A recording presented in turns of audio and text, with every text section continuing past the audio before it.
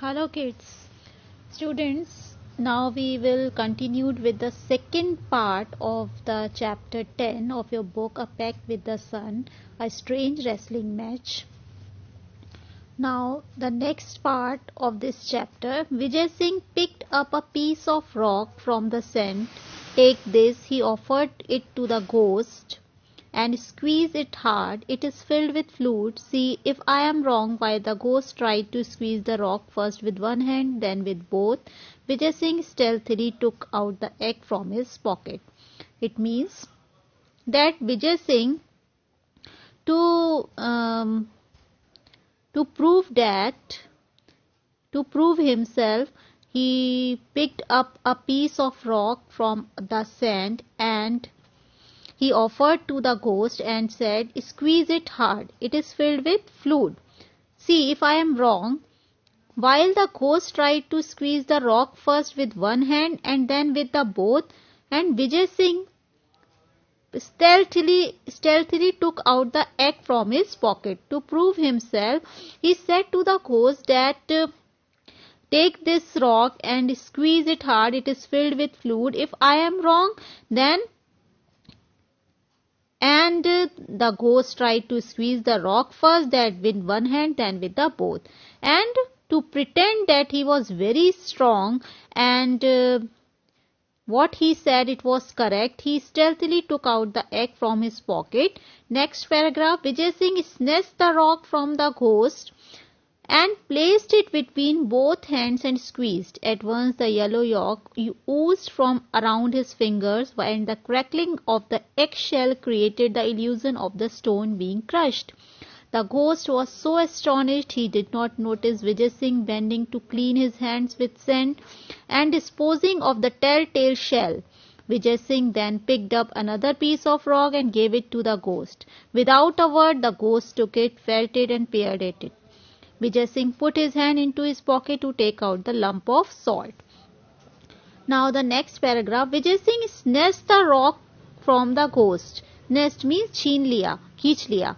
Snatched the rock from the ghost and placed it between both hands and then squeezed it. Firstly the yellow colored yolk. When you see the egg, the yellow part there are two parts. One is the yellow part and second is the white part of the egg. And uh, when you crack it when you squeezed it the yellow part comes from that. And oozed from oozed means slowly trickle or seeps out of something. Oozed from around his fingers and the crackling. And there is one sound coming from that eggshell uh, just like a crackling sound created the illusion of the stone being crushed because he pretended that uh, he had a stone and he is going to squeeze it and from the uh, from that rock uh, there is one sound also came and uh, fluid also comes from the shell. So there is a crackling sound come from that egg shell and uh, he pretended that he would have the rock in his hand and there is a fluid and the crackling sound of uh, the rock by uh, crushing it comes from. The ghost was so astonished. He was very much surprised that he did not notice Vijay Singh bending to clean his hand with sand and disposing of the telltale shell. Okay. He did not notice Vijay Singh bending to clean his hands with sand and disposing of the telltale shell. Vijay Singh then picked up another piece of rock and gave it to the ghost. Now it was the exact piece of rock. Without a word, the ghost took it. The ghost, the ghost ha had it in his hand, felt it and peered at it. Vijay Singh put his hand into his pocket to take out the lump of salt. Now Vijay Singh was very clever and um, and uh, praiseworthy and he put his hand into his pocket to take out the lump of salts. Okay, next paragraph. This is only a stone, protested the ghost. And anyway, it is too dark to see. Okay, Never heard of a ghost who cannot see in the dark, remarked Vijay Singh. That stone which you hold in your hand contains salt. Crumble it and see. Again the ghost tried to tried to crush the stone but in vain. He handed over the stone to Vijay Singh. The ghost was now beginning to double doubt his ghostly powers. Now what happened? This is only a stone, protested the ghost, and anyway it is too dark to see. Never heard of a ghost who cannot see in the dark, remarked Vijay Singh. Uh, Vijay Singh said that the stone which you hold in your hand contains salt. When you crumble it, when you crumble mean break or fall apart into apart into small fragments. When you crumble it and then you will see that again the ghost tried to crush the stone and um, as the Vijay Singh said, the ghost tried to crush the stone but in vain. In vain means useless. It is useless. He handed over the stone to Vijay Singh and but um, uh, the Vijay Singh crushed the stone and uh, there is a there is some salt. The ghost was now beginning, the ghost was very much confused and he was now beginning to doubt his ghostly powers that I have a power or not. I can see that you are not going to be a worthy opponent. What is the use of wrestling with a weakling whom I can floor into a minute? So saying, Vijay Singh casually crumbled the lump of salt and let the stone drop into the in the darkness. He held out his hand and commanded the ghost to taste the powdered stone. Okay, now Vijay Singh said that I can see that you are not going to be a worthy opponent. Worthy opponent means the the person, the ghost uh, to whom I have to fight, to whom I have to uh, prove it's not a worthy opponent. What is the use of wrestling? Wrestling का क्या मतलब है If the person who is in front of me and who is going to fight me is a weak person whom I can floor in a minute. So saying, Vijay Singh casually crumbled the lump of salt and the let and let the stone drop in the darkness. So saying, after saying this, Vijay Singh casually crumbled. He break or fall into small fragments. He crumbled the lump of salt. उसने crumble कर दिया and let the stone drop in the darkness. He held out his hand and commanded the ghost to taste the powdered stone. And after that, what happened? He held out his hand and commanded the ghost to taste that powdered stone. Mesmerized with the Pahalwan's extraordinary strength, the ghost did as he was told. Alarm shot through him. This man could easily vanquish him in a wrestling about in the dark, but perhaps he could be tricked in other ways. Assuming a servile manner, the ghost said, Friend Vijay Singh, it is an honor to meet a man like you. Because the ghost is now mesmerized with the Pahalwan's extraordinary strength. He never saw such a person who has got extraordinary par extraordinary strength extraordinary strength शक्ति, इतनी शक्ति वाला person उसने, शक्ति वाला जो uh, person था, उसने पहले कभी नहीं देखा था। Now he was mesmerise he was very much impressed with pahalwan extraordinary strength the ghost and the ghost did what he was told. What Vijay Singh was told, the ghost exactly did like this. Alarm shot through him. This man could easily vanquish him in a wrestling bout in the dark, but perhaps he could be tricked in other ways. And Vijay Singh, friend Vijay Singh, the ghost said, friend Vijay Singh, it is my honor to meet a man like you. I admit to being defeated. और मैं ये मानता हूँ I accept to being defeated but where will you go tonight rest in my house you can leave tomorrow please go tonight please rest in my house you can leave tomorrow now thoroughly elated Vijay Singh replied, I cannot refuse your hospitality, but tomorrow you will go with me as my prisoner. I must display the trophy of my victory to my people. The ghost bowed in agreement, but silently vowed to kill Vijay Singh in the night. He led him to his house in the cave. What does it mean? Now Vijay Singh uh, when the ghost said that please rest in my house you can leave tomorrow now vijay singh replied i cannot refuse your hospitality your gratitude your request but tomorrow you will have to go with me as my prisoner because I want to display the trophy of my victory to my people that I have won. I have um, uh, fight I have fought with the ghost and I have won also. The ghost bowed in agreement but silently. लेकिन चुपचाप वो क्या सोच रहा था that he has to kill Vijay Singh in the night and he led to his house in the cave. Next paragraph. The ghost fed him dry fruits and a lot of milk and later led him to a luxurious bed to sleep on, complete with pillows and bolsters.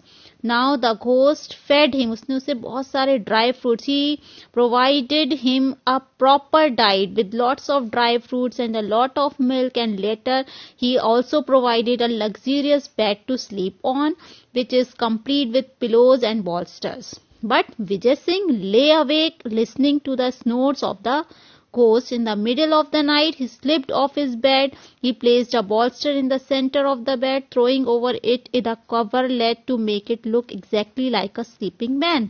Having done this, he crouched watchfully in a dark corner.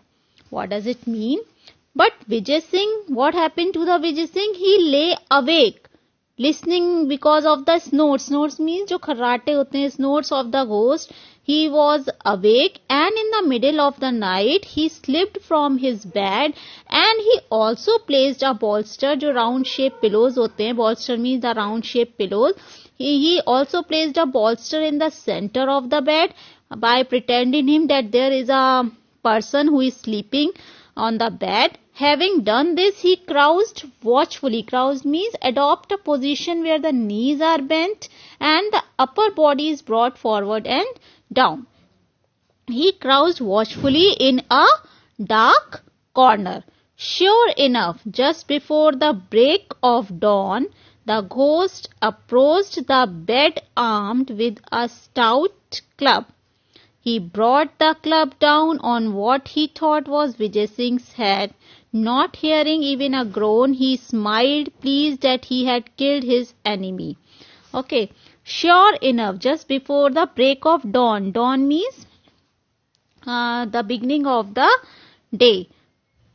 At the beginning of the day, the ghost approached the bed armed with a stout club. Stout means um, um, something fatty. The ghost approached the bed and alarmed, armed with a stout club, he brought the club down on what he thought that Vijay Singh thought was Vijay Singh's head. It was Vijay Singh's head, not hearing even a groan. Make a deep groan means make a deep inarticulate sound conveying pain. Not hearing even a groan, he smiled, pleased that he had killed his enemy. Because he had not heard even a groan and he smiled now he pleased that he had killed his enemy. Who is the enemy? Vijay singh. However, just to make doubly sure, he struck the bolster six times more. Satisfied with his work, he returned to his couch and covering his head, settled down to sleep again. Meanwhile, Vijay Singh crept silently back into bed. After a pause, he groaned as if in disgust, threw back his coverlet and sat up. Okay. However, just to make doubly sure, to make doubly sure, to make doubly sure um, he struck the bolster six times more. He struck it six times more and satisfied with his own work, he returned to his couch and covering his head, settled down to sleep again. But Vijay Singh crept silently. After some time, Vijay Singh crept silently back into his bed. After a pause, he groaned and if in disgust threw back his coverlet and sat up. Disturbed by the noise, the ghost peeped from under his bedclothes to see the strong man stretching his arms above his head and yawning. Now, what is the strange thing happened? After um, the ghost has done a lot of efforts to kill Vijay Singh, but after when he saw he was disturbed by the noise. The ghost peeped from under his bedclothes and see the strong man that he is stretching. He has stretching his arms above his head. In yawning means ubasi le raha tha. For a moment, the ghost turned rigid with shock. The, he became rigid with shock. He was very much shocked to see all this. Friend ghost. And Vijay Singh was very clever. He pretended that there are insects in your cave, said Vijay Singh in a complaining voice. And he spoke like this that he was complaining that there are so many insects in your cave. Here I was enjoying the sweetest sleep I have had in years and there comes this insect to trouble me. I have the sweetest sleep but there is an insect to trouble me. I distinctly counted seven flappings of its wings and I have counted also the seven flappings of its wings and it disturbed a lot.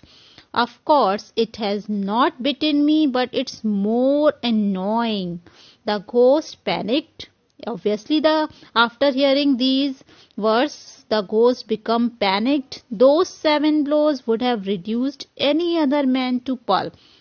If there is some other person in place of Vijay Singh and the seven blows which I have made on the uh, person and um, it will reduce to any other man to pulp and there is no safety near a formidable wrestler like this.